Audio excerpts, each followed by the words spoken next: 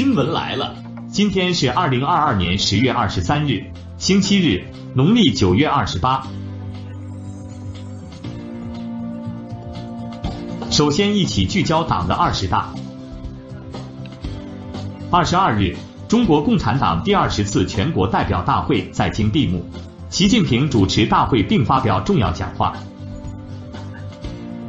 中国共产党第二十届中央委员会第一次全体会议新选出的中央政治局常委将于今日中午十二时许同采访中共二十大的中外记者见面，届时中央广播电视总台将进行现场直播。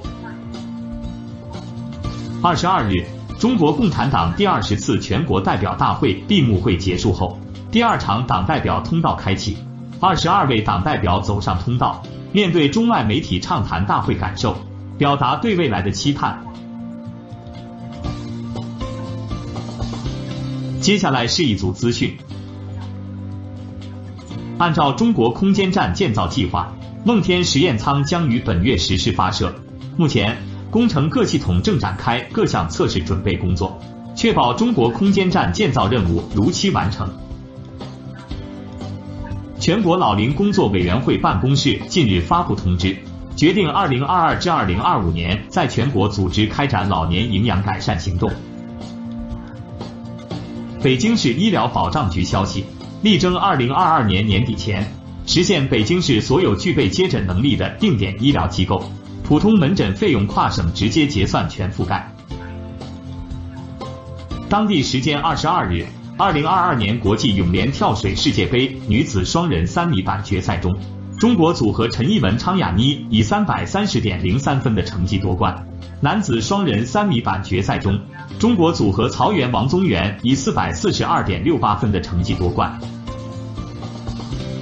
当地时间二十一日，在埃及开罗举行的射击世锦赛中，中国队再夺三枚金牌和一个奥运席位。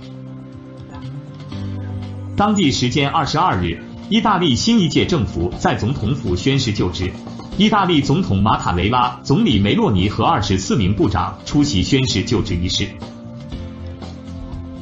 据外媒报道，伊朗海军司令沙赫拉姆伊拉尼上将二十一日表示，伊朗海军在红海地区俘获两艘美军无人艇。接下来是服务信息。中央气象台预计，二十二日二十时至二十三日二十时。西藏北部、青海中部和西部等地部分地区有小到中雪。二十三日夜间至二十五日，海南岛等地将有中到大雨，局地暴雨。感谢关注央视新闻，更多资讯可以下载央视新闻客户端。我们明天早上见。